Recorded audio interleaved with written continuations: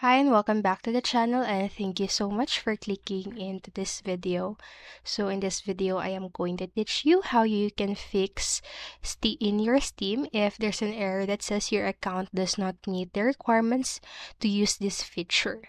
So before you continue, make sure that you like, subscribe, and click notification bell button. So without further ado, let's get on it.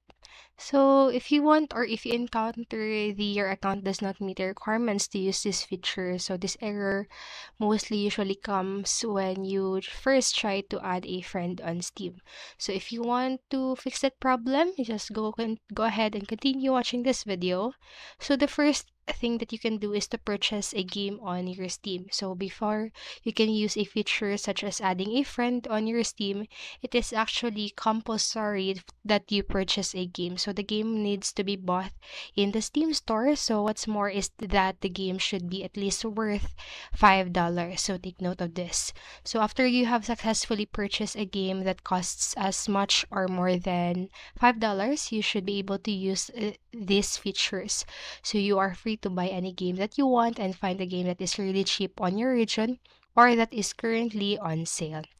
And next, what you can do is to tell a friend to give you a game. So if you can purchase a game for some reason, then you will need a friend to gift you a game. So once the limit of $5 reaches or is reached by either a transaction or through a gift, you will be able to add friends on your Steam.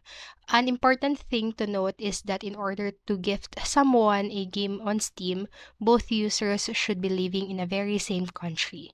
If not, then the better alternative would be to gift your friend a global Steam digital wallet code.